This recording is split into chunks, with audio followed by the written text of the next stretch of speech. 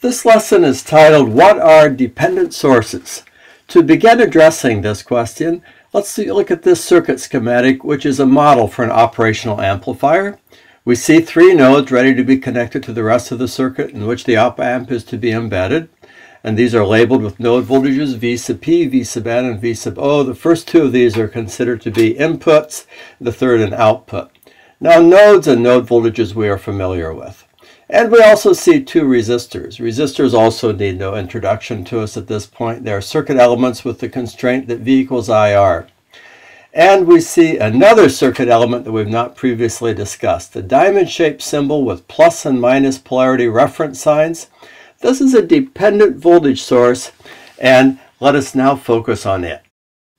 We've previously discussed sources of energy known as independent voltage sources. For example, a 9 volt voltage source says the voltage across me must be 9 volts, independently of how I'm embedded in the circuit in which I'm to be used.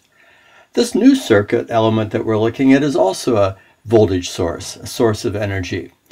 But its element constraint is that, oh, the voltage across me depends on the difference between two node voltages in the circuit.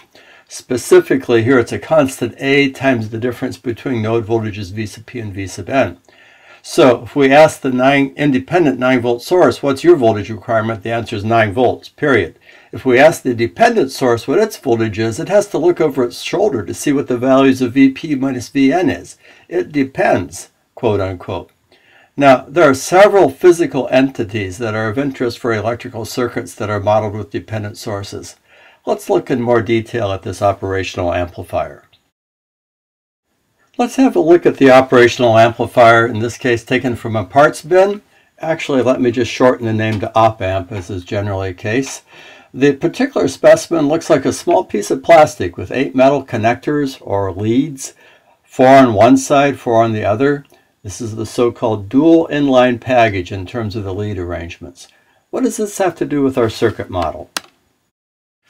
Well, three of these leads, or connection points, or nodes, correspond to the input and output nodes on the schematic model, V sub P, V sub N, and V sub O, the output voltage. I'd also like you to note that power supplies will be attached to this operational amplifier, to this chip. A positive DC voltage supply labeled with VCC, and a negative DC voltage supply labeled with minus VCC. These will enter into today's discussion. Of the remaining three leads, by the way, one is not used and two have to do with adjusting offset voltages and not germane to this discussion. What about that plastic though? Well, it's just a protective covering. If we were to etch away the plastic, we'd find a piece of silicon about a millimeter square and less than a millimeter thick. Let's have a microscope view of that. What we see under the microscope is an example of an integrated circuit in which the various circuit elements are built in and on a piece of silicon in an inseparable manner. The ones labeled with an R are resistors, the ones with a T are transistors, and that one up in the upper left-hand corner, CC, is a capacitor. Around the periphery of the chip, we see seven gold wires that are bonded to the chip.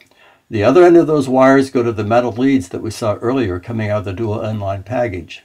Now the circuit schematic corresponding to this collection of interconnected resistors, transistors, and capacitors is shown on the next slide. Okay, we can't really see the details here. But by using the dependent source model, we don't need to know the details. That's the point of the importance of dependent sources. By clever circuit design, these various elements function in a way as modeled by the dependent source. We do see the nodes where the DC voltage sources are connected. We see the nodes where the input voltages are brought to the op-amp. And we see the nodes where the output voltage is. So as users of the op-amp, as circuit designers who are going to incorporate the op-amp into our systems, we generally don't need to know the transistor level details of the chip. The dependent source does an excellent job of modeling the combined effects of the circuitry and of the external power supplies, and that's a good thing. By again, clever circuit design, the values of the node voltages, V sub P and V sub N, essentially control the flow of power from the power supplies to the load in a manner modeled by the dependent source. And here is that dependent source doing an excellent job of modeling the combined effect of all the complicated circuitry and the DC power supplies. The dependent source we've been talking about so far is a voltage-controlled voltage source. It's called that for self-explanatory reasons. It's a voltage source, and its value depends on a voltage elsewhere in the circuit. For the op-amp, it was the voltage across those two input nodes, but more generally, we would say that the voltage is equal to mu times Vx, where Vx is the controlling voltage and mu is the voltage gain. Now, this is one of four linear dependent sources we want to talk about today. Another important dependent source is the current-controlled voltage source. Again, we see here the symbol for a dependent voltage source, but this time that voltage depends on a current flowing somewhere in the circuit.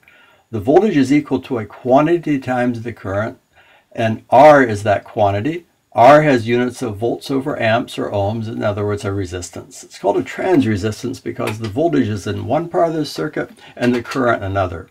As the story goes, by the way, when the bipolar transistor was invented in the 1940s, the thinking was that they were developing a device that would represent a current-controlled voltage source, and trans resistance was shortened to transistor, as the device's name. As it turns out, though, it was better modeled by a voltage-controlled uh, current source with a transconductance, so maybe they should have named it transductor. But history is that it is, and we have transistors. Speaking of transconductance, though, here's a third dependent source we wish to talk about, a voltage-controlled current source. Again, we see the diamond shape representing a dependent source. This time there's a current reference arrow in it, though, instead of the voltage polarity marks. It's a, it's a dependent current source.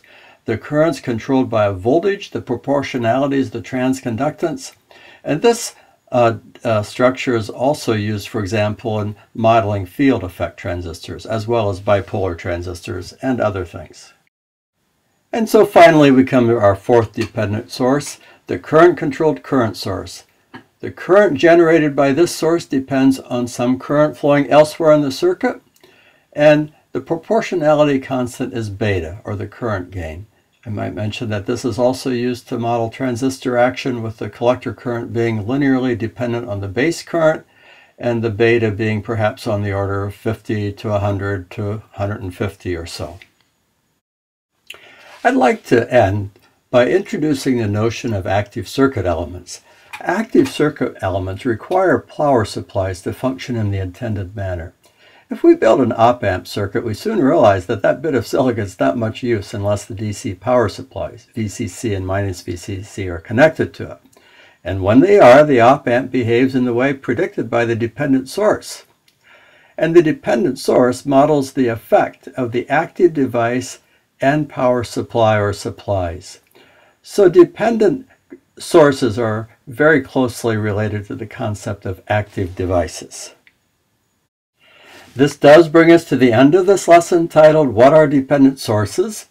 And we may summarize by noting the introduction here of four dependent sources. The voltage-controlled voltage source, current-controlled voltage source, voltage-controlled current source, and current-controlled current source. As always, I thank you for watching.